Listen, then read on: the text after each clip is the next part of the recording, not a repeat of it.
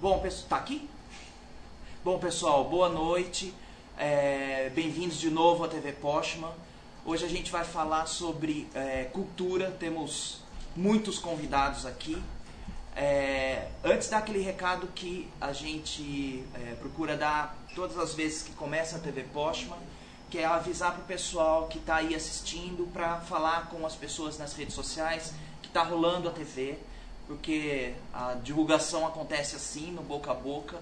Então, é, você que está, sei lá, no Twitter, no Facebook, está é, tá na internet, avisa as pessoas que está rolando aqui, e que a gente já começou e que é para vir. E também aquela coisa, do lado da, da transmissão aí onde vocês estão vendo, da telinha, vocês vão ver que tem um chat, tá? Para vocês mandarem aí perguntas, fazerem questões. Deixa eu baixar meu volume aqui mandarem perguntas pra gente, fazerem questões que eu vou estar tá lendo aqui. Além de eu estar lendo, tem mais gente aqui no nosso imenso estúdio é, acompanhando, vão me passar perguntas também, tá? Então, eu estava falando, o tema hoje vai ser cultura. Acho que é um tema muito relevante para a cidade. É, é uma cidade que é carente de opções, é uma cidade grande, mas carente de opções e que tem diversos debates é, para serem feitos sobre é, o incentivo que pode ser dado para essa área aqui em Campinas. É, nós estamos aqui com uma bancada grandona hoje, com bastante gente. Começar aqui primeiro pelo Adriano Bueno, que tem toda uma ligação com o pessoal do hip hop. É, ali na minha outra ponta nós temos o Batata, que é da Secretaria de Cultura e, como ele pediu para a gente falar, militante cultural desde 71. É, e aqui no meio a gente tem a Ceci Gomes, do grupo Tugudum. É, bom, gente, boa noite. Vou começar aqui pela minha esquerda, com o Adriano. Por favor, dá uma boa noite pro pessoal aí e, sei lá, uns, umas palavrinhas sobre o tema cultura aí pra gente. Legal, boa noite a todos e a todas estamos assistindo agora, né? O tema, essa eleição, o tema da cultura teve uma relevância maior, né? Até pela situação de terra arrasada que tem na Secretaria de Cultura e a deficiência mesmo, né, das políticas públicas de cultura na cidade de Campinas, né? Então é um tema da maior importância, acho que é estratégico para a cidade fazer esse debate, né? E, e, é um tema que influencia o voto de muita gente, né? Importante a gente estar tá aqui nesse momento fazendo esse debate aqui. Boa noite, pessoal. Eu sou Cecília. Estou é, aqui muito feliz de poder falar desse tema que é a cultura. Assim como disse o Adriano, a gente está vindo aqui de uma batalha muito grande de tentar fazer com que os nossos interlocutores no poder público compreendam esse tema pelo viés da política pública e não pela, pela troca de favores, pela política de balcão. E eu acho que é muito importante a gente atentar para isso e comparar os projetos e saber assim, que a gente tem muito mais perspectiva de dialogar com uma pessoa que tem uma, uma visão ampla da cultura, como é o Márcio. Então, acho que a conversa vai ser boa aqui. Legal. Boa noite. Uh, enfim, estamos aí para falar sobre a pauta. É, pessoal, eu queria começar conversando com vocês. Eu acho que é procurando não sei quantos de vocês estiveram envolvidos de alguma forma na construção do programa sobre cultura do Márcio. É, queria pedir para vocês comentarem, começar a nossa conversa falando do que vocês acham que tem ali que é de mais interessante é, e que, que, assim, a gente, até mesmo antes de começar a conversa aqui, eu estava conversando com eles, que a gente sabe que a maior parte do pessoal que está assistindo a TV Postman já é de eleitores do Postman mas é super importante que vocês que já são eleitores é, conheçam bastante bem o programa para poder conversar com as pessoas nas ruas e mostrar para as pessoas por que, que esse programa de governo, por que, que esse projeto é, é o mais interessante para a cidade. E, e aí eu queria, é, e assim, só ressaltando essa coisa, a gente está numa fase final, a coisa está ficando super acirrada, é, as brigas estão é, aumentando, as mentiras estão aumentando, é, tem um monte de folhetos é, apócrifos correndo por aí. Então a gente, inclusive, queria dar esse toque para que, que, se vocês encontrarem coisas assim, denunciarem, avisarem a gente, avisarem o, o TSE também. É, então a coisa está ficando bastante é, forte, mas barra ela pesada. também barra pesada. É, mas agora é um momento muito decisivo. Então é importante conversar com as pessoas nas ruas e esclarecer é, e falar muito diretamente, né, muito claramente sobre as coisas. Então eu queria, é, de repente, começar com Batata, que foi mais lacônico. Pedir para você dizer para a gente o que, que você acha de bacana que tem ali. Eu acho que a principal contribuição do programa é em torno da concepção do que é cultura. Quer dizer, que cultura não é portaria de teatro. E que cultura não é semear espetáculos pela cidade. Mas que é pensar um processo de trocas de valores que envolve toda uma dinâmica da administração pública passando por assistência social, passando por uh, esportes, passando por lazer, passando por saúde, passando por transporte. Quer dizer, um dos exemplos do, do descaso cultural numa campanha educativa é aquela maneira trash como foi tratada a campanha de evite ser atropelado. Ó, oh, aqui é um lugar de risco. E eles pichavam um corpo estendido no chão. Quer dizer, isso é filme de horror, não é campanha educativa. Saca? Quer dizer, você vai querer elucidar um, um procedimento para a população atacando-a de uma maneira aterrorizante. Quer dizer, isso culturalmente deseduca.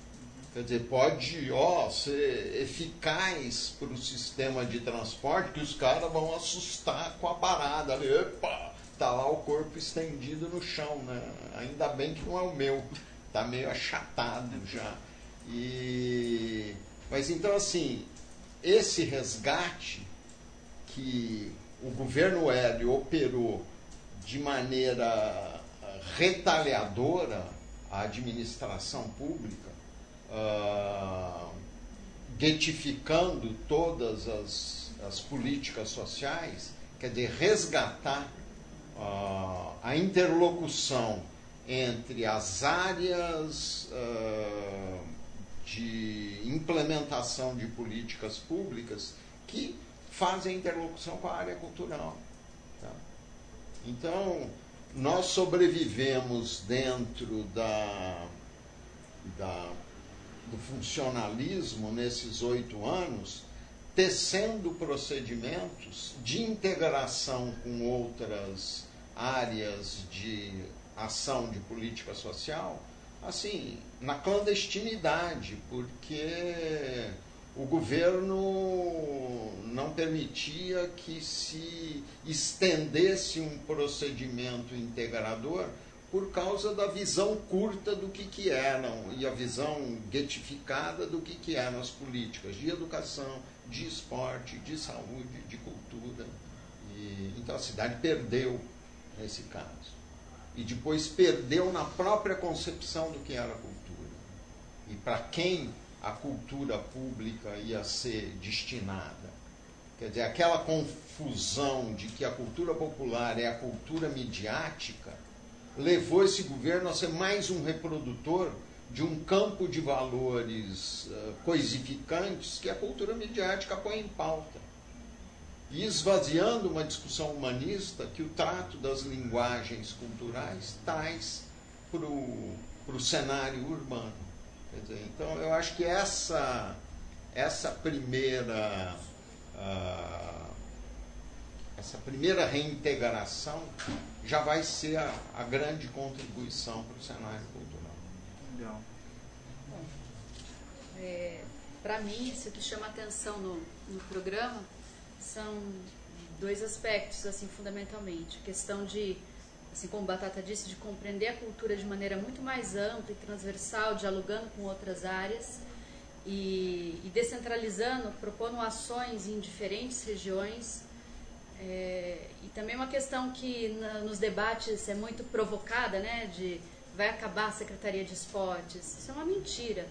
Né? Eu tive a oportunidade de acompanhar de muito perto é, uma gestão que havia a, a integração das áreas do turismo, do esportes, da cultura, e a gente via como era muito mais potencializada a ação cultural. Quer dizer, eu enquanto produtora cultural, para eu realizar um evento numa praça de esportes, né, nessa forma como é separado, era uma burocracia imensa. Né, sem falar que eu precisava ser ONG para usar a praça. Então são distorções, eu acho que é, quando você integra e você, lógico, prevê uma dotação orçamentária maior por conta das necessidades de áreas tão diversas, você está de fato preocupado, está com um olhar atento para a cultura de maneira ampla, né? A cultura, o esporte e o turismo. Eu acho que é, esses aspectos são, são muito importantes do programa e eu defendo isso. Eu acho que é, que é melhor para a cidade a cidade ela se torna mais humana, mais, mais potente, mais, é, mais forte do ponto de vista da educação, se você consegue fazer com que as áreas dialoguem. Por que, que os artistas não podem estar nos centros de saúde, nas escolas, é, nas praças? Não, a gente tem muitos grupos em Campinas é, e a minha área é mais a área da dança e do teatro, mas existe as pessoas que trabalham com cultura popular, diferentes núcleos em bairros, muitos pontos de cultura. Existe uma efervescência em diversos aspectos da cultura que está abandonada. E eu, eu, sinceramente, eu não vejo na, nas propostas do, do outro candidato uma, uma possibilidade de integração dessa diversidade cultural como o projeto, é, o programa de governo do Márcio Postman apresenta para mim, esses aspectos são os que, que se destacam. Assim. Legal. Eu acho que, até complementando um pouco o que eles é, já disseram, e sobre essa polêmica, inclusive da, com a Secretaria de Esportes, né, que o fato de é, ter uma Secretaria de Cultura, Esporte, Turismo e Lazer é, integrada, né, numa só secretaria, é, os boatos, o terrorismo de, de campanha que fazem por aí, dizendo que isso implicaria em menos recurso para a cultura e enfim, acho que tem um debate de fundo aí que é muito importante, que muitas vezes não aparece, que é a concepção de cultura de cada candidato, né? E isso vai influenciar é, o conjunto do programa, não só o que ele fala sobre cultura especificamente, sobre arte, mas o conjunto do programa. E num eventual governo, a mesma coisa, né? Então, por exemplo, a concepção de cultura do governo anterior, ela, é, como Batata fez algumas críticas aqui, mas ela marcou uma série de outras decisões que é, influenciou uma série de outras decisões que o governo tomou, né? Então, por exemplo, o turismo foi parar junto com uma secretaria de comércio, né? Por que, que isso aconteceu? Né? Acho que é uma reflexão interessante da gente fazer. É, uma outra questão que a gente poderia citar né, o, o, caso de tolerância zero e o higienismo social, né? E as coisas não estão separadas, né? E a concepção de cultura de um, governo faz todo sentido na hora de fazer essas opções, né? Então, por exemplo, a coordenadoria antidrogas, que era responsável pela prevenção é, contra o uso abusivo de drogas, ela não ficava na Secretaria de Saúde, ela ficava na Secretaria de Segurança Pública. Ah. Né? Era uma coordenadoria da Já Secretaria. mostra qual é a visão, né? Isso mostra qual é a visão. Eu acho que isso é fundamental é, localizar isso, porque é, a ideia de juntar tudo numa secretaria só, esporte, turismo, lazer, eu acho que tem a ver com a concepção mesmo, de trabalhar de uma forma integrada, né? E quem está acostumado com as caixinhas uhum. dentro do governo confunde um pouco as ideias, né? Mas eu acho que é uma, uma, uma, uma visão é, muito avançada aí que é, as pessoas podem ter que tomar contato com o programa para compreender melhor, né? E, mas eu acho que uma outra questão que eu gostaria de falar também, que acho que é, é relevante, que é a cultura como um direito, né? Eu acho que isso é uma coisa muito importante no, no programa também, porque é, muitas vezes a população nem tem essa percepção. Né? As pessoas assistem a novela uhum. e se dão muitas vezes por satisfeitas com o que vem na televisão. É, que é um desafio também, mudar a percepção da população sobre a cultura como um direito. Mas isso tem que partir de uma decisão política de, do governo de enxergar a cultura também como um direito, um direito universal e um direito básico como saúde, educação. Né?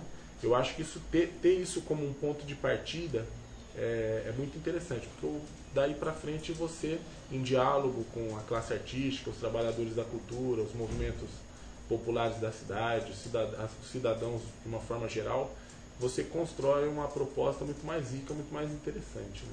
Você estava falando do desse tolerância zero, conta para o pessoal, porque eu mesmo, foi, foi só quando eu comecei a me inteirar das coisas da campanha que fui descobrir esse programa, esse tolerância zero que existia aí.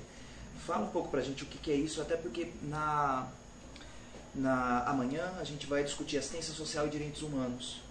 É, e aí eu acho que é, uma, é um insumo legal para esse outro debate também.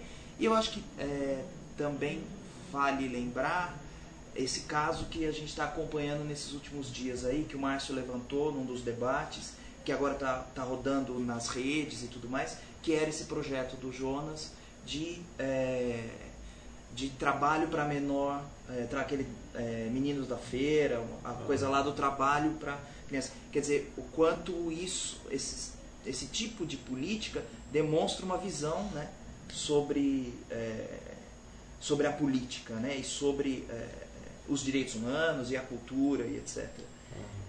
É, conta pra gente o que é esse Tolerância Zero que você começou a contar. Então, Tolerância Zero eram operações que eram feitas é, principalmente no centro da cidade, que visavam é, recolher moradores de rua e, é, teoricamente, usuários de, de crack ou de drogas em geral. Né? Uhum. E uma abordagem que tinha como ponto de partida o higienismo social, na, na forma principalmente como, tra, como lidavam com os moradores de rua, e também a criminalização da pobreza. Né? E, e no caso é, dos usuários mais especificamente, a intenção era tratar também o, o usuário como criminoso. Né? E que é uma. Um, eu, eu acho que isso tem a ver com com cultura, as coisas não estão desconectadas. Né? Então, por exemplo, eu vi num dos debates que eu assisti, o Jonas disse, ele apresentou que é, um dos princípios da política de segurança pública que ele quer implementar em conjunto com o governo do estado, que é do, administrado pelo PSDB, é garantir a segurança para o morador no domicílio, né? Uhum. E que eu acho que é um equívoco, né? Você pensar que as pessoas têm que ficar fechadas dentro de sua casa, ter segurança dentro de sua casa, mas não poder ficar ilhado com toque de recolher, né? Quando ela mesma colocou aqui a questão, a importância da praça, né? Só filmando. É, porque justamente se precisar... Tá. Okay. Eu tô me vendo aqui. deixar que ela volta. Agora Já voltou? Voltar. É. Deixa eu aumentar. Pode ir. Ah, o som nem diminuiu. Pode ir. Beleza, gente. Então, então caiu. Peraí.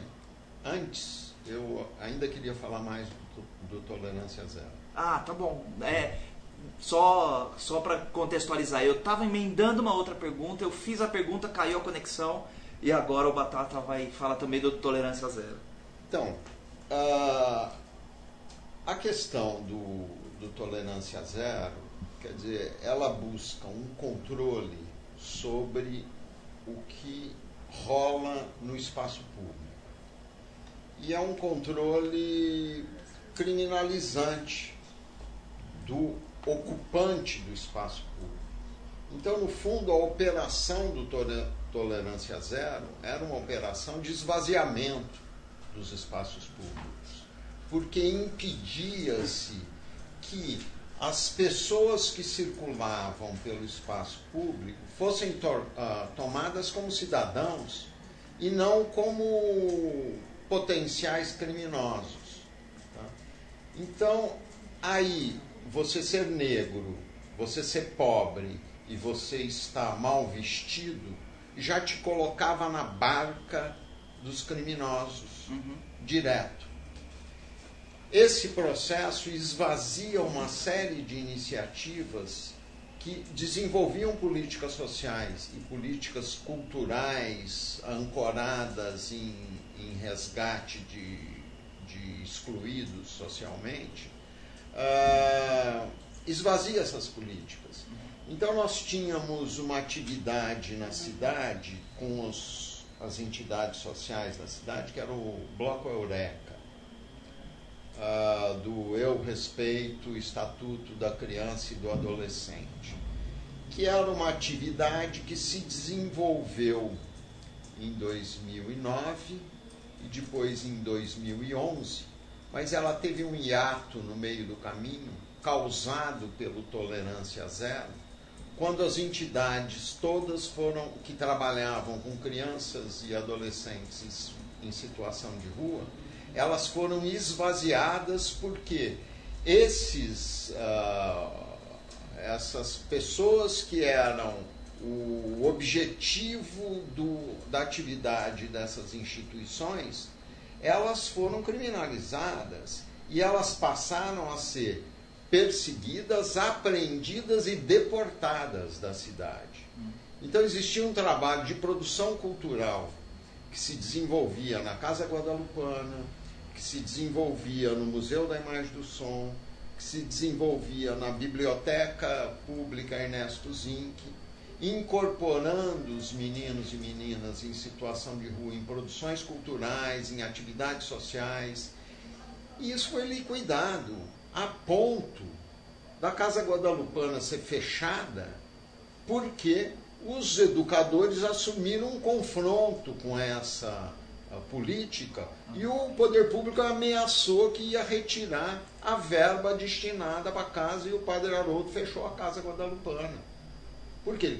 Não tinha como implementar uma política para destinada a pessoas em situação de rua uh, com a polícia perseguindo os educadores que faziam contato com a molecada e as atividades, a ponto de os meninos românticos, que eram um dos projetos da casa, eles se apresentavam, participavam às vezes do sarau literário na biblioteca, fizemos exposições dos trabalhos deles, e esses moleques não, não, não deixavam mais eles chegarem na biblioteca, porque eles eram suspeitos.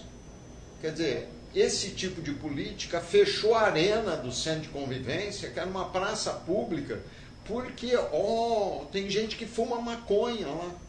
Sabe, tem gente que ia namorar lá, tem gente que ia recitar uh, uh, poesias lá, tem gente, tinha gente que ia tocar violão no, no centro de convivência, na arena do centro de convivência, e ocupar culturalmente aquilo que pelo projeto do Fábio Penteado era para ser uma praça pública com caminhos subterrâneos onde se bebesse cultura, uhum. saca? Quer dizer, ele foi fechado por fora, a, a parte subterrânea primeiro e a parte externa depois. Quer dizer, então era um, um combate à sociabilidade urbana, que é a sociabilidade que produz uma cultura integradora. É esse o saldo do tolerância zero e de uma política que vai se organizando para dar no tolerância zero, que é a política da supressão das sociabilidades públicas. Ou seja, privatizemos a sociabilidade nos botecos, aí os botecos podem ocupar a calçada, os moradores não podem ir para a arena do, do centro de convivência. Os shopping centers podem se expandir sobre território público, mas uh, o morador de rua não pode declamar seus versos dentro da biblioteca. É.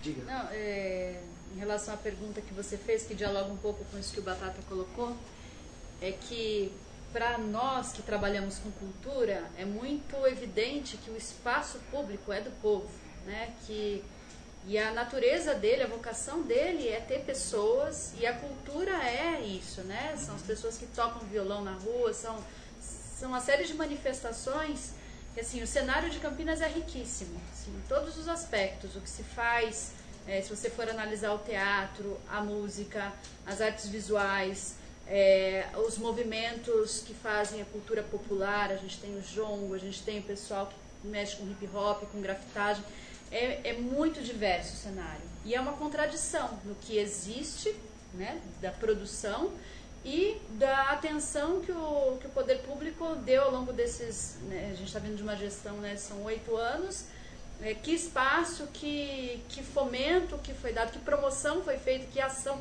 que pensamento ou de aglutinação ou diálogo dessas, dessa diversidade cultural foi promovido? Nulo, né? A gente veio dessa política de festividades, né? Então, Malemar contratava-se alguns grupos que iam se apresentar naquela festa. Isso é muito ruim, não é isso que, que os artistas, os, as pessoas que trabalham com cultura esperam, né? As pessoas que trabalham com cultura é, têm uma ânsia de desenvolver o trabalho aqui nessa cidade e, e, e que esses espaços tenham um pensamento. Então, o teatro, né? Ele deve ser mantido, mas ele deve ter um pensamento, né? Ele não é só a porta. O que é colocado como oferecido como programação para esse local? Se não tiver um pensamento, você vai pensar, vamos trazer sua peça que dá dinheiro, só com artistas, uhum. né? É, que da televisão. da televisão. Então você não tá, isso não é um né, o, o, o, candidato fez uma fala no Sesc Campinas, um debate horrenda, que ah, nós vamos construir um teatro e vamos chamar a Fernanda Montenegro para inaugurá-lo. Eu amo Fernanda Montenegro, mas não é isso que eu, artista da cidade de Campinas, penso. Primeiro que construção de teatro já é uma coisa assim que de outros governos se fala vamos construir, construir. E construir para quê?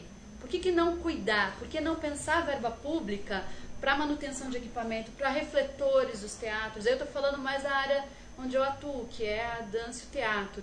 E, e, a gente tem vários equipamentos culturais, alguns que estão largados, né? Existe um espaço, uma casa de cultura, Batata, que é lá em Barão Geraldo, Casarão, ela tem status de casa de cultura, que ela é um espaço que foi ocupado por artistas que estavam sem sede. Então, já existe um movimento de, de ocupação, de manter isso vivo, mas a gente precisa de ter verba para consertar telhado, para que não chova dentro da casa e da mesma forma o teatro centro de convivência e, e, outros espaços né, que são produtores de cultura, que são públicos e que devem ter essa, essa, esse olhar de continuidade, manutenção, não de abandono. Para você ter uma ideia ah. nisso que a Ceci está falando, quer dizer, o Teatro da Padre Anchieta era um teatro que precisava de reparos.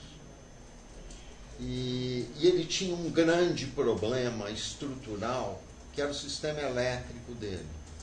Precisava de 30 metros de cabo para mudar a entrada da sala de espetáculos, a entrada elétrica da sala de espetáculos, fazer direto do poste. Uhum. E ter a caixa de iluminação, a caixa de energia na cabine de iluminação que era no fundo do teatro. O Hélio precisava fazer reparo no telhado. Tal. O governo Hélio fez uma reforma no teatro não resolveu. Criou uma cabine elétrica de, de iluminação mais estruturada,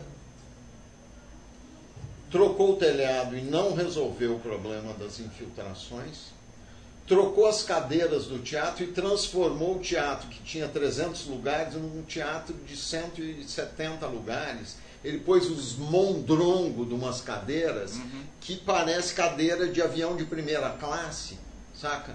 num teatro de periferia com uma frequência popular e que a demanda era de mais espaço. Ele reduz a capacidade do teatro e ele não põe os 30 metros de fio. Saca? Então é impossível ligar mais que três refletores naquele teatro porque cai o sistema. Isso é, isso é falta de ouvir as pessoas Diálogo, também. Né? né? Consultar é... quem trabalha com. A... É. É. Tem umas perguntas chegando aqui já. É, eu queria fazer uma aqui para o Adriano, que eu, é, que eu acho que tem a ver com o trabalho que ele desenvolve também. É, o Luan Deji, que está tá perguntando, ó, agora eu acerto seu nome direto, tá vendo? é, ele fala dos vários pontos de cultura da, que tem aqui nessa cidade, mas que nunca tem verba. E pergunta também sobre se vai existir algo para é, mais voltado para algum olhar diferenciado para a tradição afro. Acho com certeza, né? Tem toda uma, uma proposta em cima disso e acho que nenhum governo teria condição hoje de não não dar um tratamento né, para a cultura afro de uma forma geral, né? Tem, por exemplo, a, um exemplo é a lavagem da escadaria, né? Faz parte do calendário oficial, tem uma lei que, que garante, né? E agora, tem acho que um certo, uma maneira de, de, se diferenciar na hora de se relacionar com esses grupos quando você tem um, um governo que tem pessoas que dialogam, que participam, que tem trânsito é, dentro desses grupos organizados, né? E que tem justamente em cima do que eles estavam falando, tem capacidade de dialogar, né? As coisas ficam mais fáceis é, na hora de operar uma, uma política, né? E mesmo a cultura afro, de um modo geral, né? A cidade tem uma classe artística muito é, produtiva, tem uma efervescência cultural muito grande, tem grupos organizados, né? Se eu começar a citar aqui, eu vou lembrar da Tainã, vou lembrar do Urucungos, vou lembrar do Jongo, né, da, da Fazenda Roseira, e posso ficar aqui citando outros, o Savuru, né? Enfim, posso ficar citando exemplos de grupos culturais que têm é, que trabalham com essa, com essa matriz é, africana. Né? Então, é, com certeza é uma preocupação que está posta dentro do, dentro do programa né? de, de, é, de, trabalhar. Sobre a questão dos pontos de cultura é uma outra, é um, uma outra questão que ficou foi super problemática nos últimos anos, né? Uhum. porque é, o, o, governo federal fez a parte dele, né? mas por conta de problemas na gestão aqui na, na cidade, é, a terceira parcela não foi paga e isso desencadeou uma série de, de problemas, a entidade... Que era um repasse deles, que era a prefeitura que faria? Isso. Na verdade, é, os grupos foram mal orientados em relação à prestação de contas né, pelo poder público. E aí isso desencadeou uma série de problemas. Então, um projeto que era para ser uma forma de garantir é, independência, autonomia para esses grupos, ou que pelo menos foi pensado com essa intenção, na verdade ele tornou esses grupos, é, como é que eu posso dizer? Reféns. Ele, reféns. Ele criou um problema uhum. para esses grupos. Na prática foi isso que, o que aconteceu, né?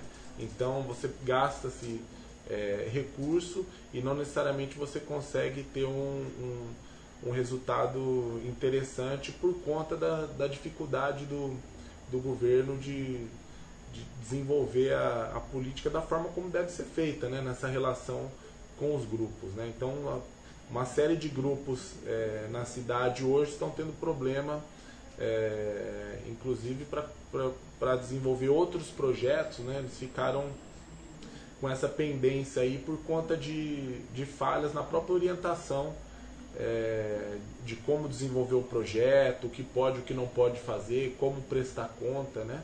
E acho que o, o, o governo falhou muito nesse sentido, né? Uhum. E, então acho que uma preocupação é essa, né? De como estabelecer essa relação é, com os grupos culturais da cidade de forma a potencializar o, o, trabalho que eles já desenvolvem, porque eles têm uma vida independente da existência de um apoio do poder público ou não.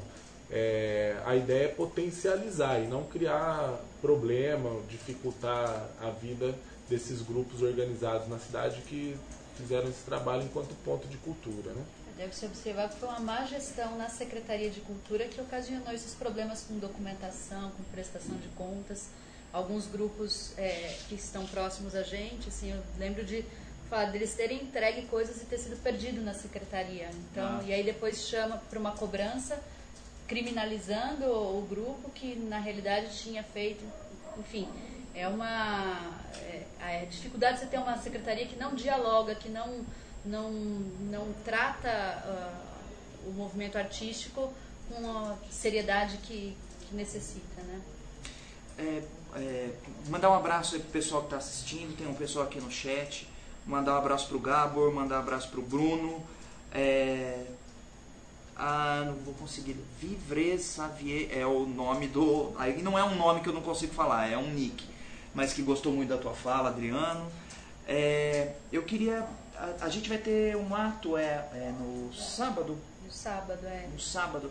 Queria que vocês falassem um pouco de como é que está o apoio de, dos grupos culturais é, à candidatura do Márcio. Como é que vocês estão vendo isso? Se, tá, se, tá, se a candidatura e o projeto estão fluindo bem, tem apoio, como é, e talvez um pouco desse ato você que está organizando? Não, não, não, sou eu, é um coletivo de pessoas que que sentiu a necessidade de expressar publicamente o apoio ao Márcio, muito por conta também de. É, Jonas falou num debate na PUC que os artistas de Campinas estavam com ele. Eu falei, mas que artistas? Porque eu tenho muitos amigos artistas eu não conheço um que levante a bandeira, eu sou Jonas. Pelo contrário, os que estão apoiando estão meio escondidinhos, uhum. sabe? Os poucos, assim, um que eu conto no dedo. É, é, talvez essa, essa, essas pessoas mais conservadoras, né, que têm o medo de um super secretário, é o discurso que está sendo falado, né? É, Qual que então, é o então, discurso? É do super secretário que vai assumir essa pasta de ah, cultura, ah, tá. esportes e turismo e lazer, que vai confundir as coisas. Queria dizer que a classe artística tem apoiado o Márcio. A gente está organizando. Inicialmente a gente tinha pensado um ato para acontecer na Catedral, em frente à Catedral Metropolitana. No entanto, por uma questão da justiça eleitoral, eles é, definiram os locais onde os partidos vão encerrar a campanha e a, essa região vai ser ocupada pelo, pelo Jonas. Então, para não haver é, problemas ali de trânsito, a gente mudou para o Largo das Andorinhas. Então, assim, os artistas da cidade estão todos convidados. A gente falou, né, passou um chamamento para que as pessoas venham de branco, com elementos coloridos para mostrar sua arte, para mostrar a sua expressão artística em apoio a esse candidato que tem um programa de governo que, que expressa a possibilidade do diálogo, que nos apresenta pontos que a gente acredita que sejam fundamentais para a transformação da cidade, não só no aspecto cultural, mas social, né? E, então vai ser às 10 horas da manhã, estão todos convidados, o pessoal no todo no sábado, para fazer essa, essa, essa união mesmo de forças, de expressão e, e tocar as pessoas através daquilo que a gente sabe fazer melhor, que é a linguagem artística, né? A gente espera que as pessoas vejam e saibam que que para a cultura acontecer nessa pujança, nessa efervescência, nessa visibilidade, só existe um candidato capaz de levar, né, de aglutinar essa diversidade cultural, que é o Márcio. O outro, ele deve ter com seis amigos artistas, músicos, talvez, é uma área mais conservadora e, e, e acho que a, o pensamento é amplo. Quem tiver essa vontade, que esteja lá conosco, vai ser muito bem-vindo. Uma coisa que a gente tem, nas, nas várias vezes que a gente tem feito a TV Postman, uma coisa bastante frequente é, tem sido a gente perceber que a candidatura do Jonas, é, ela é provinciana, é até, até pela, pela mudança que aconteceu no discurso agora no segundo turno, essa coisa do, do voltado para dentro, assim, para uma tradição, para Enquanto a candidatura do Márcio, os projetos do Márcio, tem essa, essa efervescência do contato, é, da diversidade, da democracia, é, da, da, da, da, conversa, da negociação, né? E eu acho que com o olhar que eu acho que vocês estão refletindo nas falas aqui, o Batata falou, é, eu acho que me deu essa, essa visão, pelo menos assim, que é, é um projeto com, com um olhar muito mais complexo com relação ao que é a cultura, né? É, é algo muito mais simples né, do que essa, essa questão de ah, uma, uma determinada profissão e um determinado ofício. Né? Uhum. Dizer, a, a, cultura como algo é, passando. Né? Criação de valor. Como assim criação de valor? Conta, fala pra gente. Criação e transmissão de valor. Quer dizer, você tem você tem um processo de elaboração de valores nas sociedades que elas acontecem de acordo com as relações que essa sociedade desenvolve.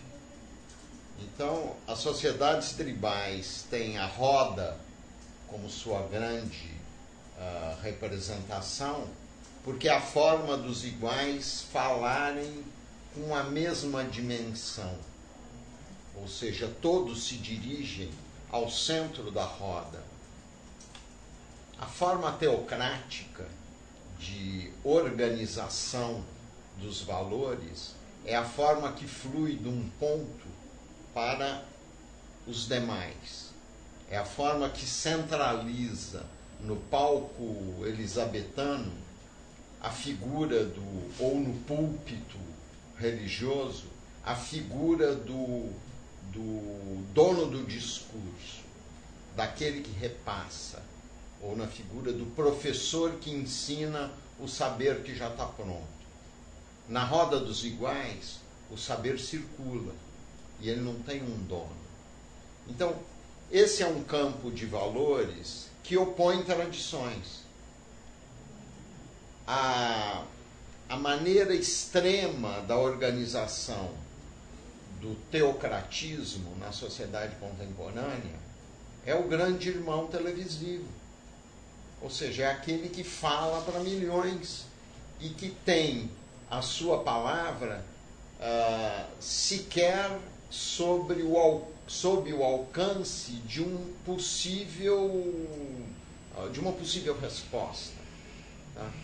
Ainda na sala de aula, o aluno pode afrontar o professor no palco elisabetano, a plateia pode jogar o tomate e, ou vaiar o espetáculo. Quer dizer, no, no Deus midiático, uh, você não tem o retorno. Tá? O retorno está bloqueado na tela de vidro. Quer dizer, é o invasor repassando um campo de valores que não é uh, semeado no campo das relações que as pessoas desenvolvem cotidianamente.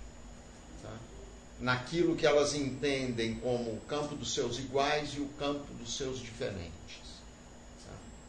Então, reconhecer a maneira como os cidadãos fazem a sua interlocução ou como os grupos sociais trabalham as suas diferenças é o dever de quem pensa a produção cultural. Quer dizer, eu vou fazer festa de Natal na Praça Arautos da Paz para quem? Saca? Uhum. Lá vai alguém normalmente? Ou eu vou trabalhar nos pontos de afluxo de pessoas? E aí eu posso escolher, eu vou fazer no shopping center ou eu vou fazer na praça pública, no centro da cidade, ou na praça do, do bairro, onde tem o terminal de ônibus. Quer dizer, onde eu vou jogar a minha ação comemorativa da tradição natalina? Tá? A festa junina, eu vou centralizar a festa junina ou deixar com que ela se, mani com que ela se manifeste enquanto uma tradição escolar, uma tradição paroquial, Quer dizer, eu vou seguir a, aquilo que estão fazendo no Nordeste, descaracterizando as tradições de festa e criando grandes eventos midiáticos e que não tem nada a ver com a linguagem de, da tradição junina. Tá? Quer dizer, então foram os assintes criados na nossa política cultural nos últimos oito anos enquanto metro sabe? Era através disso que se media se se fazia ou não um evento cultural, tá? uma produção cultural para a cidade. E aí a interlocução com os grupos da cidade virou assim, um contrato cooptador para você se apresentar ou na festa junina ou na festa de Natal para ser um coadjuvante. Uhum. O carnaval virou as escolas de samba vão ser coadjuvantes do trio elétrico baiano que vai ser importado para vir para cá. Saca? E descaracterizar mais ainda o samba de bumbo, que é a tradição campineira, e que não vai ter espaço em cima de um trio elétrico. Tá? Quer dizer, quem conhece o samba de bumbo? Moçada da Vila Bela sabe. sabe? E quem mais? Vocês também veem essa, essa, essa diferença das duas, dos dois projetos? Quer dizer, algo com uma visão mais moderna, vamos dizer assim, e, e outra uma versão mais arcaica, para não ficar com essa coisa temporal, mas um recurso para a gente classificar o, a coisa. Como é que vocês enxergam isso? Quer falar primeiro? ah, eu já havia dito, para mim é exatamente isso que está posto, né? É, existe um anseio muito grande de ver essa mudança, porque nós estamos há muito tempo carentes de proje projetos ousados, projetos que nos façam é, pensar a cidade de uma outra maneira e se relacionar com ela também. É, eu tive uma experiência de realizar a minha companhia, é, que é a companhia Tubudum, fez um projeto de um espetáculo que era uma interação com as pessoas nos pontos de ônibus de Campinas. Então foi uma vontade da companhia em levar a dança e a música contemporânea para esses espaços. E foi maravilhoso ver como que é, é, as pessoas a música contemporânea não, não tem público na periferia. É uma mentira. Existe público, as pessoas têm interesse, têm vontade, elas não têm é, acesso, porque o poder público não fomenta esse tipo de ação. Né? Se, se houvesse vontade política, se faria isso muito mais, com muito mais frequência. E isso é um tipo de projeto que ele é, eu não vejo, não vejo perspectivas de realizar, a não ser numa gestão que entenda as coisas de maneira transversal, que entenda que um ponto de ônibus é, pode ser sim um palco para uma apresentação, a gente fazer dentro e fora do, do ônibus, né, no ponto e também no trajeto. E as reações das pessoas eram as mais diversas possíveis. Então tinha gente que que também era mais conservador e falava, ai meu Deus, isso é macumba, que não entendia direito o que estava sendo feito, e tinha gente que estava lá com seu olhar sisudo, tenso, e de repente abriu um sorriso e falou, nossa, você mudou meu dia. Muitas pessoas né, reagiam assim. Então, de transformar, e, e, muito retorno de pessoas querendo, sabe? A gente acabava, tinha lá uma barraquinha de café, oh, não vem tomar um café com a gente, vocês vão voltar quando? E a gente não tinha perspectiva de voltar, porque o projeto tinha uma execução, uma conclusão, uhum. né? É, existem ações que podem ser feitas voluntariamente, como a gente faz no nosso espaço, mas é, é preciso o entendimento de que, que cultura pode ser muita coisa, né? Uma secretaria de cultura pode fazer muito, mas tem que ter um projeto, tem que ter um entendimento ousado, como eu vejo no, no programa do Márcio. Tinha uma peça do Tucuru, um trabalho que o Dalga fez no Santa Lúcia, com o pessoal do Batilata, que ele punha os moleques para fazer percussão na boca com escova de dente, sabe? E aí fazia uma intervenção que entrava no campo do brincar sobre o escovadente, sobre. Quer dizer, então é um músico que traz toda a informação da música contemporânea e da música erudita e que de repente ia lá na periferia fazer interlocução com a molecada uh, que estava lá tocando samba, tocando maracatu, tocando as tradições que eles eram portadores. Tá? E, então, de repente, você pôr, estabelecer esse diálogo, quer dizer, você abrir as porteiras da cidade e quebrar os guetos. O, existem vários grupos da cidade querendo fazer essa, esse itinerário urbano. Uhum. A confraria da dança visita escolas e faz questão que as escolas venham para os espetáculos deles no SESC, nos, nos teatros. A Orquestra de Câmara Artes Musicais andou uh, pelas escolas de Campinas fazendo concerto ao longo de 2008 e 2009, clandestinamente. Quem sabia disso era eu e as diretoras das escolas, porque o resto, a Secretaria de, Educação se desinteressou pelo projeto. Adriano, tem. É, queria te perguntar, porque tem. É, uma das coisas que eu vi no programa é, é uma menção explícita à casa do hip hop. Que eu acho que é uma das coisas bacanas que, que Campinas ainda tem mas que está numa situação ruim, né? Já teve numa situação melhor. E assim, Campinas, como a, a pergunta do, do, do antes, Campinas tem uma, uma tradição é, negra e mais do que uma tradição negra, mas uma história da, da, da, da população daqui é, de resistência e tudo mais. É, como é que você vê essa menção aí ao, ao hip hop? E, e, é uma coisa bacana que é direto para a juventude, né? Uhum. Pois é, é, a cidade foi um polo produtor de café, né? E a escravidão, pelo menos os estudos aí né, históricos apontam que foi muito dura aqui, né? Tem registros no Centro de Memória da Unicamp é, para quem quiser pesquisar sobre isso. E, e ao- mas ao mesmo tempo tem um, um histórico de resistência também, né, com grupos organizados e tal. É, a casa do hip hop, lamentavelmente, chegou numa situação muito difícil, né, porque foi um, um, um projeto conquistado através do orçamento participativo, da mobilização Olha. popular da militância do hip hop, que começou ainda quando o Toninho estava vivo. Depois do assassinato dele, teve continuidade com a Isalene. No período que o Walter Pomar foi secretário de Cultura, que ela foi implementada, né? Mas surge de uma demanda popular eh, do movimento hip hop se organizando e indo pro OP para disputar o, o recurso para isso.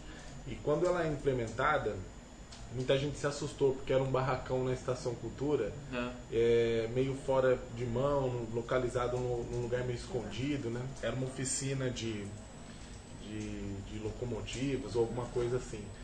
E, mas era um, um lugar estratégico. Quem vinha de São Paulo, gente militante histórico do hip hop, vinha de São Paulo para cá, é, ficava assim é, entusiasmado, porque Ah. nós estávamos dentro de uma estação de trem, né? Que foi justamente tem uma, a história do movimento hip hop está muito ligada com, com os vagões, né? Os, gra- os primeiros grafites que aconteciam nos vagões e tal. E então nós estávamos num lugar que naquele momento a gente entendia que era um lugar eh, não tinha outro melhor, né? E enfim, um barracão enorme onde acontecia, onde desenvolvemos projetos de oficina de educação não formal e, e fizemos atendimento e parcerias com, com entidades da assistência social. Então tinha é, crianças em situação de rua, principalmente que é, trabalhavam nos semáforos, aqueles garotos que limpam é, para-brisa, né? E então tinha jovens em conflito com a lei, inclusive a gente tinha acordos com, com essas entidades. É, eles frequentavam as oficinas da Casa do Hip Hop, assinavam uma lista de presença, a gente dava um aval, isso contava é, quando eles estavam cumprindo medida socioeducativa, por exemplo. Né? Então, um trabalho muito interessante que cumpriu um papel é, estratégico num local muito interessante. E uma das primeiras medidas do governo que veio depois, nos últimos oito anos, foi tirar a Casa do Hip Hop desse espaço. Né? A Casa do Hip Hop está hoje embaixo de uma caixa d'água, que é um, um- um cubículo que dá suporte para uma caixa d'água, e a Casa do Hip Hop está embaixo sem condição nenhuma de fazer uma oficina lá dentro. Né? E Teve algum motivo para tirar e para colocar lá? a alegação é que era fora de mão, alguma coisa nesse sentido. E foi horrível, né?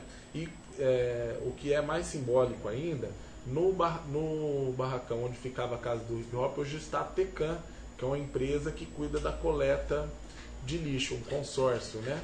E que eu fico tentando entender como é que uma empresa lá dentro de um espaço público que foi reformado para uma outra finalidade, né?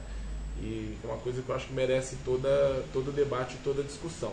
Nós temos uma legislação em Campinas que é referência para outras cidades, outras cidades da região foram desenvolver uma legislação parecida, inspirada no que a gente produziu aqui, que é uma lei.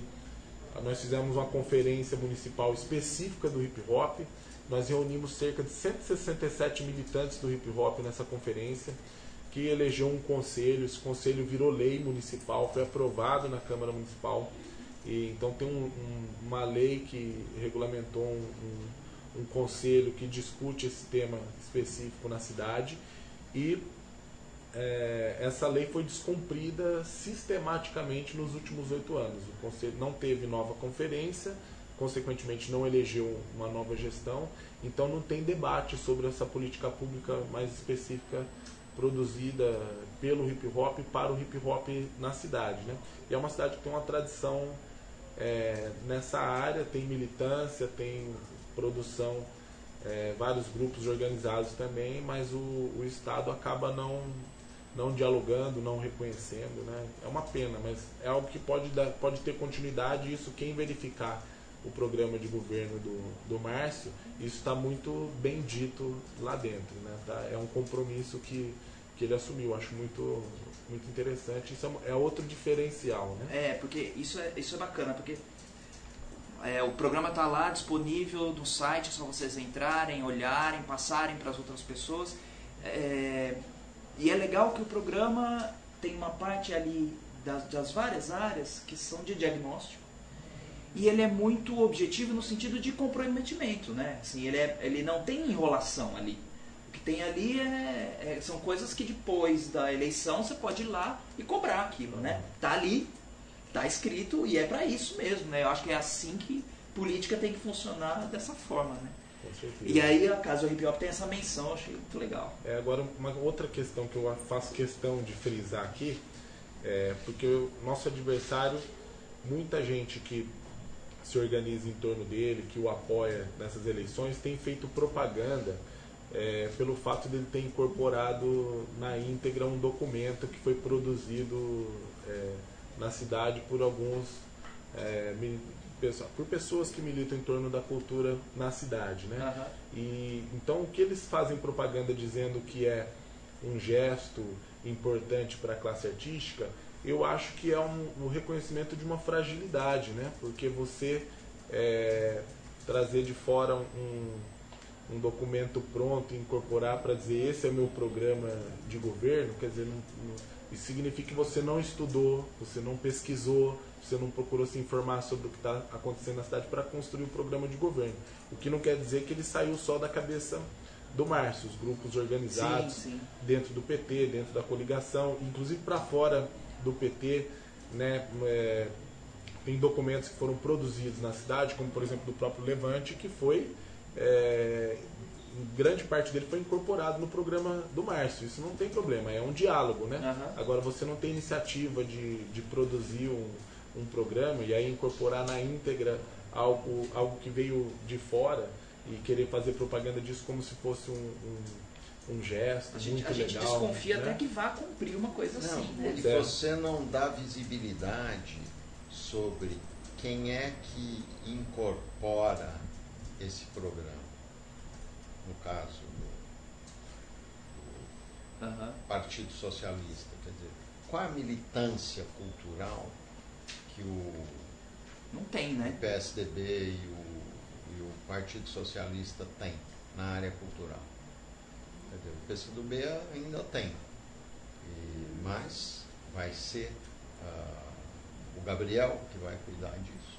É, você tinha falado do sentimento dos artistas. É, o, que, o que move a classe artística a apoiar o Márcio é justamente a capacidade de interlocução. Ninguém aqui está né, no movimento artístico cegamente apoiando esse candidato. Né? As pessoas que estão declarando apoio é, fazem isso porque enxergam uma possibilidade, de, com, essa, com essa pessoa é possível conversar sobre cultura. Né? Existe essa, essa possibilidade de construção. Né? Eu tive numa reunião com um grupo de artistas no Instituto Hilda Hilst, e a vontade ali era, vamos fazer alguma coisa, vamos manifestar uh, o nosso desejo de ver um sonho realizado de uma pessoa que a gente vai ajudar a construir um programa e, e vai poder cobrar por isso, né? É, o que a gente, eu faço parte de um histórico de luta dentro do, do movimento Levante Cultura e quantas vezes a gente não esteve diante de secretários que nos receberam para dizer Dr. Hélio foi eleito com mais de 70% dos votos da população. Engula o secretário que ele, que ele determinou. Nós ouvimos isso. Isso uhum. é, isso é para quem ama a cidade, para quem luta, para quem trabalha aqui, é, é uma coisa muito violenta. E, e não é isso que a gente quer ver para a cidade. É, a gente estava falando a coisa do programa, e isso eu, eu posso falar por ter acompanhado durante essa campanha. É, eu escrevo uns textos para o site também. É, e aí eu, uma das coisas que eu fiz logo no começo foi olhar os dois programas para fazer comparação. E eu vi a primeira versão do programa, que não é essa que está aí agora. Porque essa que está aí agora só surgiu porque a gente fez muita pressão e mostrando que ali não tinha nada, que era só um vazio. Quer dizer, eu acho que deixa mais claro o quanto tem de artificial nessa própria candidatura, né?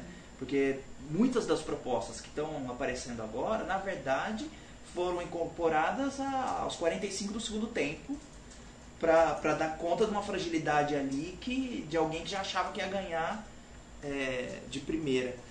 É, tem uma pergunta aqui da Rony, é, eu acho que é a Rony. É, tem uma fotinha aqui, que tem três pessoas. Eu acho que é ela, com os filhos. O Rony. É Rony. O Rony? Eu acho. Não, é R-O-N-E. Isso. É, é, fale um pouco sobre a importância da formação de público nas comunidades e escolas. Aí eu queria juntar essa pergunta com a proposta dos céus. Porque eu acho que faz bastante sentido. E assim, a gente estava falando que cultura não é só equipamento, mas é, a ideia de é, cinco teatros em regiões periféricas da cidade, em regiões que não têm equipamento, acho que é uma ideia também que é super é, interessante, né? Como é que vocês veem isso? Eu acho que é absolutamente necessário, né? Essa integração entre cultura e educação é essencial. Hoje, coincidentemente, o Dalga, que faz um espetáculo chamado Doutor Plástico, lá da companhia, é um espetáculo que mestra educação ambiental com percussão de música contemporânea. Ele foi apresentado num céu lá em Perus, né? Eu perguntei, eles chegaram de viagem, tive a oportunidade de conversar com o Júlio, que estava lá na montagem do espetáculo, lotado, muitas crianças, né? Então, assim, isso é, é, não é o teatro em si ser construído em regiões. Tem que haver uma proposta, um programa que forme público, porque você não dá oportunidade para crianças e, e não só crianças, professores, educadores, de saber o que é o teatro, o que é essa linguagem e, e como ela existe e, e para que, né, que isso se torne um hábito para as pessoas. O teatro, ele, a gente tem essa necessidade de que muita gente não conhece, nunca foi. Quantas pessoas têm oportunidade de ir? Porque ainda há, é, existe aquela mentalidade elitista. Existem dois teatros na cidade, né, formais construídos. Quem que vai lá assistir? Né? Primeiro que o ingresso é caro, porque né, que nem chega a saber quando tem iniciativa gratuita. A gente tem que, os artistas têm que fazer um esforço muito grande para articular público. Vamos chamar escolas porque os artistas têm essa preocupação, eles querem fazer a formação de público. E às vezes entravam burocracias, né? É, eu acho excepcional e eu acho que é uma coisa muito interessante do programa que, que eu levanto a bandeira que é quero mesmo que aconteça. Assim.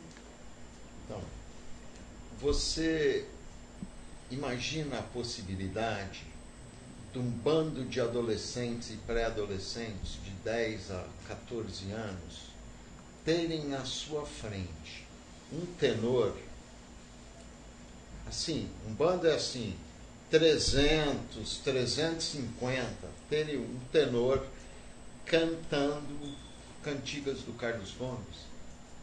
Dizer, isso acontece nas escolas de Campinas. Quer dizer, existe dentro do processo educacional, uh, enfim, administradores do ensino preocupados com essa interface cultural. Então, Vicente Monteiro, eu tenho a gravação disso, ele cantando na escola Leão Valéry, no, no Parque Valença, num pátio semiaberto, sabe, com uma gravação do, do da base musical, uhum. e ele cantando as cantigas do, do Carlos Gomes, no começo a molecada ficou assim, sabe, impactada com a voz, impostada tal. Quando terminou, se os moleques fossem maior, carregavam o Vicente. Mas foi uma explosão de contentamento com a história. Quer dizer, existe uma avidez por informação. A Orquestra Artes Musicales apresentava Mozart para Beethoven, uh, enfim, para molecada dessas escolas. E era uma recepção assim, sabe, perplexa. A gente ficava com medo, pô, os professores ficavam, nossa, será que eles vão se comportar? A hora que começava o espetáculo, a molecada prostrava, sabe? E depois vinha querer saber o que, que eram aquelas coisas. O, o Hermes fazia a demonstração dos instrumentos, tal, eh, de tudo, a molecada cercava a orquestra para um dia na, na Vila Rica, uhum. na, no Violeta Dória. O, o Hermes pôs um dos meninos, chamou dois, um não quis, mas pôs um dos meninos para reger a orquestra. Falou, falou de tudo. Aí ele falou, e vocês sabem o que, que eu fico fazendo aqui? E aí levou o menino para frente, a menina foi junta, mas aí ela não quis, e aí o menino ficou regendo a peça, sabe? Ele percebeu que aquilo era um acompanhamento rítmico do, do trabalho dos músicos e ele desempenhou a, a regência da orquestra. Quer dizer, então o campo inusitado de interlocuções que você pode oferecer num trabalho educativo é vasto. Quer dizer, aqui em Campinas, nós tivemos um processo de criação de uma, que eu entendo como a única casa de cultura que, enfim, deu conta de integrar uma produção cultural do bairro e motivar, que foi o Teatro da Padrancheira, até a reforma. Quer dizer, ali no entorno surgiram dois grupos de arte circense, um sem número de grupos de dança, ensaiavam dois, três grupos de teatro, uh, se articulou o grupo dos do o grupo GLTBS lá e começou a produzir um espetáculo de afirmação GLTBS no bairro, saca? E, e que hoje é um grande evento do bairro depois de oito, nove anos de, de implementação desse negócio. Quer dizer, a Casa de Cultura Tainã é um outro exemplo de como que o afluir da população para dentro de um lugar onde se pensa a linguagem, as outras linguagens que envolvem corpo, que envolvem percepção. Quer dizer, isso cria outras dimensões de vida para a molecada que está ali nos entornos. E a questão não é ser eventual, né? Isso. Tem que ser contínuo. Como ele citou, a Casa de Cultura Tainã existe, a Quadrancheta existe com produção contínua de coisas. E os céus, a expectativa é que seja assim também, né? Não é fazer de vez em quando uma peça, não. É uhum. um programa continuado, que isso você faz, né? O entendimento da, da linguagem, constrói. Eu, eu me apresentei no Centro de Convivência para escolas, a estreia de um espetáculo, e foi, como você disse, assim, uma coisa de louco, porque as crianças, começou o espetáculo, era uma música muito baixinha, uma luz quase penumbra, é, era uma gritaria, eram 500 crianças gritando. Eu falei, meu Deus, eles vão invadir o palco. Era essa a sensação que eu tinha. E foi um estrondo, e aos poucos aquilo foi silenciando, silenciando, silenciando. Era a emoção de estar num teatro, as luzes apagadas, um espetáculo que era totalmente imagético, né? Era formas, né, que dançavam, a gente usava uns panos, enfim.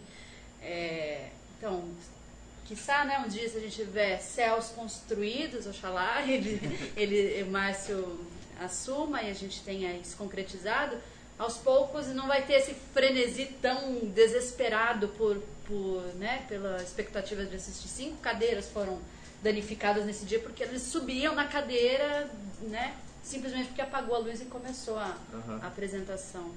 Então aí né, se entende como ir ao teatro, como né, assistir espetáculo. É um processo em construção, né? Sim. não é eventual. Você quer comentar alguma coisa dos céus? Então, acho que está dentro também da visão da política de cultura integrada. Né? Eu acho que tem tudo a ver. Eu, eu queria mencionar mais uma questão sobre isso, é, porque eu, é um debate que eu tenho acompanhado, tem rolado na, nas redes, no Facebook, né, via e-mail, tenho acompanhado bastante esse debate. E usam para nos atacar um dos argumentos, por exemplo, é dizer que você juntar esporte, cultura numa mesma secretaria, que isso vai reduzir o, o recurso da cultura, né? É isso, boa, porque tem uma pergunta aqui que é exatamente sobre isso. Como é que vai ficar a questão do orçamento com as com as a integração?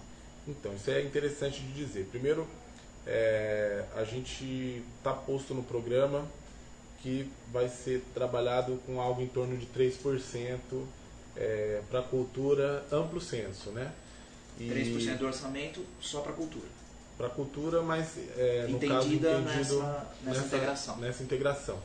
E algo que já foi desenvolvido na, na cidade de Campinas. Não é uma coisa jogada é, do nada, né? Isso já, já aconteceu. Quando é, foi entregue a Secretaria de Cultura para o governo anterior dos últimos oito anos, é, era estava nesse patamar o investimento em cultura, né?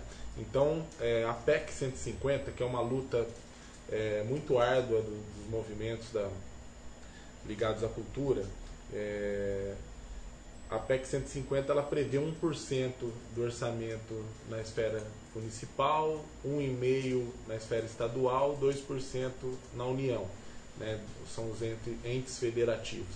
E então a gente cumpria a PEC 150 mesmo ela não, não estando aprovada aqui na cidade de Campinas. É perfeitamente possível, é factível. Uhum. Né? É, e isso não, não tem nada a ver com o formato. Você pode ter uma Secretaria de Cultura, só cultura, é, entendendo que como se cultura fosse sinônimo só de arte, né, que é a, a confusão que eu acho que o nosso adversário faz, é o adversário do Márcio, é uma Secretaria de Cultura só cultura com menos de 1% no, no orçamento pequeno. E você pode ter a cultura integrada dentro de uma secretaria que, muito maior uma visão mais ampla é, do conceito de cultura com um orçamento maior, né? Uhum. Não é essa divisão que vai definir. Essa divisão, na verdade, ela obedece muito mais um interesse de, dos candidatos e tentar contemplar coligações gigantescas feitas é, porque é, você, você passa um pedacinho para cada um, né? Em torno de acordos que são pragmáticos, não são programáticos, e aí você precisa atender os interesses fisiológicos dessa coligação gigantesca, e aí precisa ficar criando secretarias, desmembrando, né? E, então você pega, vou citar um exemplo que não tem nada a ver com a cultura. É, a Secretaria de Trabalho e Renda atual, ela, quando ela se desmembra da Secretaria, então Secretaria de Assistência Social, a Secretaria de Trabalho e Renda ficou menor do que o departamento de trabalho e renda era dentro da secretaria. Então você dizer que criar uma secretaria à parte isso garantiu mais recurso, não necessariamente, né? Então acho que isso é importante ter é, bem frisado para a gente colocar o debate num outro patamar. E uma coisa que eu acho importante colocar aqui também, eu lembro é, na época da na gestão do Walter Pomar a gente fazia eventos, eu fui agente cultural na época, a gente fazia eventos na periferia, por exemplo, é, no Dia das Crianças. Vou citar um exemplo bobo aqui para a gente poder dimensionar. No Dia das Crianças a gente fazia um evento na, na periferia, ia lá a cultura junto com o esporte. Né? Então a cultura levava artista circense, palhaço, e o esporte levava, por exemplo, uma cama elástica. Né? Então era um, um, uma atividade feita é, envolvendo tudo isso, esporte, arte né? Que no fundo é, é tudo cultura. Se a uhum. gente pensar no esporte, que tem a ver também com a concepção de que modelo de esporte nós queremos construir para a cidade. Se nós vamos trabalhar só esporte de rendimento, uhum. aí talvez não tenha tanto a ver com cultura. Só serve para marketing. Só isso. serve para marketing, né? E agora, se nós vamos trabalhar com esporte social, aí a gente cabe, é perfeitamente. E, e acho que uma coisa que é que é sinal de que essa integração é uma integração positiva, é que ela não é feita pós-eleição. Ela é, ela é muito claramente colocada a crítica é, de quem está escolhendo, né? Uhum. É, antes, se fosse uma coisa. Porque poderia pra ser uma foi integração. Uma surpresa quando separou, na realidade. Uhum. Quando houve a separação, eu, porque eu não entendi assim. Eu falei, mas mas também não tinha muito uma, uma clareza de quanto isso era bom ou ruim. Depois uhum. na prática que você vai percebendo os efeitos, né? Que foi, foi separado. É, a gente está com o tempo quase estourado de novo. A gente normalmente vai até as 8h30 porque é, tenta fazer uma ligação com o programa eleitoral que vem em seguida, pedindo para as pessoas que estão em casa tweetarem, comentarem o programa eleitoral, criticarem é, e também trazerem questões, tem o arroba Somos Postman, que é o endereço de Twitter é, do pessoal das redes da campanha. E eu queria é, pedir para vocês então uma, uma palavra final e colocar uma questão que ficou aqui perdida, e aí se alguém quiser comentar, encaixar nisso, porque a gente está com o tempo é, estourado, é que tem uma pergunta aqui sobre cinema. É, que não há cinema no centro da cidade. Quem achar que. que... Triste, né? Tinha cinema na praça uma época nessa cidade, né? Um programa em parceria com a CETEC, aí, né, como é transversal, né, a, a forma de pensar, que exibia filmes gratuitamente para as pessoas em diversos bairros. Então, naquela época também não existia uma sala de cinema no centro, mas existia, mas existia uma possibilidade do cinema chegar as pessoas que frequentam muito o centro. É, só isso. o, o Museu da Imagem do Som. Ah, é verdade. É bem no centro da cidade. É, bem lembrado. Faz sessões de cinema, no mínimo todas as sextas à noite e os sábados às quatro da tarde, sessões gratuitas. E o Museu da Imagem do Som tem uma sala, aliás, ele tem duas salas de projeção inacabadas para virar um espaço de constante de exposição da produção cinematográfica. E além do que ele é um lugar de troca de produtores e tem vida. É, tem vida cinematográfica lá dentro, latejando, lançamentos de filmes, trabalhos desenvolvidos em escolas, em entidades sociais, por grupos estabelecidos na cidade. O MIS faz mostras na dia 6 de novembro começa uma mostra de cinema documental todas as noites com a obra do cineasta brasileiro Tony Venturi, vai do dia 6 ao dia 10. E, então tem, uh, tem isso no saldo. Quer dizer, o MIS resistiu no governo Hélio, uh, quase que entrincheirado ali dentro.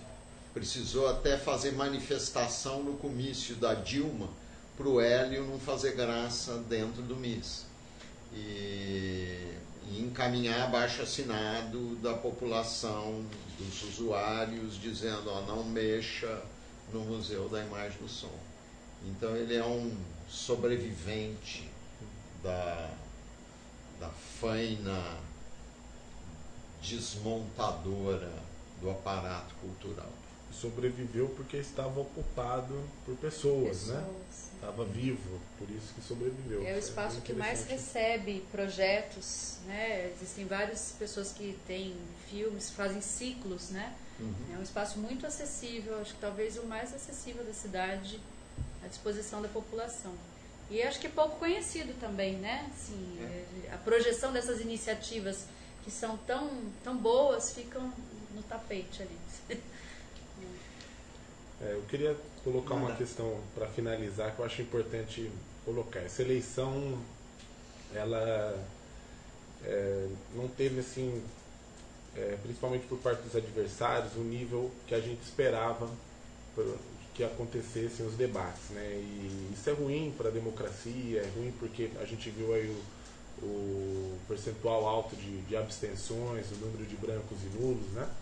E, mas enfim, é, domingo está aí, nós vamos ter que fazer uma escolha. Né? Então acho que é importante é, pontuar uma questão é, que eu acho bem interessante. No primeiro turno, o Márcio saiu lá da casa do 1%, segundo as pesquisas, né? Uhum.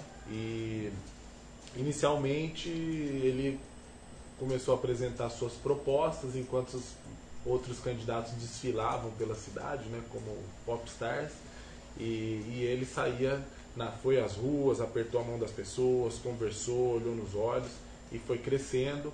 Num segundo momento começam a surgir os ataques, né?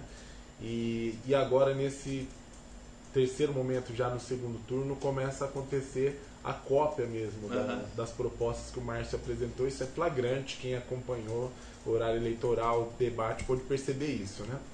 E, mas eu acho importante que as pessoas tenham clareza do que está por trás, o que está em jogo, porque são dois projetos muito distintos. Né?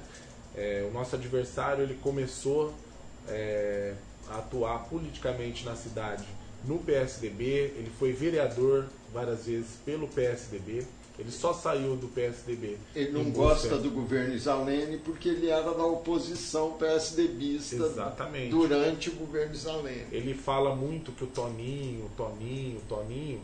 Quando o Toninho se elegeu prefeito, o Jonas Donizete era vereador pelo PSDB e fazia oposição ao governo do Toninho. Essa que é a verdade, né? E depois agora ele está, naturalmente, ele é o plano B uhum. tocando na cidade, porque o PSDB percebeu que não tinha mesmo condição, eles vêm perdendo eleição após eleição, né? acho que é já uns 16 anos na cidade, e o Jonas é o plano B dos tucanos na cidade. Então eu acho importante a gente lembrar o que, que significa, é, por exemplo, durante o período que o Fernando Henrique foi presidente do nosso país, o que, que isso significou para a cultura, né? Uhum. Porque o neoliberalismo ele tem a sua aplicação na cultura, que é a própria lei Rouanet, que é a transformação da política pública de cultura, a apropriação da política pública de cultura pelos departamentos de marketing das empresas, né? E que é a privatização, em última instância, é a privatização da cultura. E o Jonas não diz isso, né? Porque ele sabe dizer isso Pega é perder a eleição, é, não tem outra outra opção. Mas o que que ele vai é, estando como prefeito, né? O que que ele vai aplicar do ponto de vista da cultura na cidade, né? Será que vai ser o, o nosso programa, né? Eu não acredito nisso, até porque se é para aplicar o nosso programa é muito melhor o Márcio, né? Que é o, fez, é o né? original, que é a partir dele que se construiu um, um processo, conversando dentro do PT, fora do PT, com a classe artística, para construir e chegar nesse programa que está posto hoje, né? Que está no site, as pessoas podem ter acesso lá. Muito legal. É, vocês querem comentar mais alguma coisa? Talvez só dizer que eu quero o Márcio porque o povo da cultura é muito briguento. Se for para brigar com alguém, que seja com uma pessoa que entende do que está falando. É que ouve, né? Que ouve, é. Bom, gente, então queria agradecer a presença de vocês. Foi muito legal. É, teria muito mais para conversar. Ah, no sábado a gente vai fazer é, vários, vamos, vamos juntar vários temas, vamos ter vários temas aqui. Então todos estão convidados a passar por aqui quando quiserem, que aí a gente faz é, com vários temas, todo mundo junto, todo mundo falando, que é esse esquenta que a gente pode fazer para a eleição, né? E, e, eu acho que esse programa foi muito legal e é, muito importante porque por, por deixar claro isso que a gente é, falou, né, durante essa hora e pouco que é, se trata de uma maneira de ver a cultura, né, que é que tem diferenças, né, que, que não é ver a cultura de uma maneira objetificada, né, ou como espetáculo somente, né.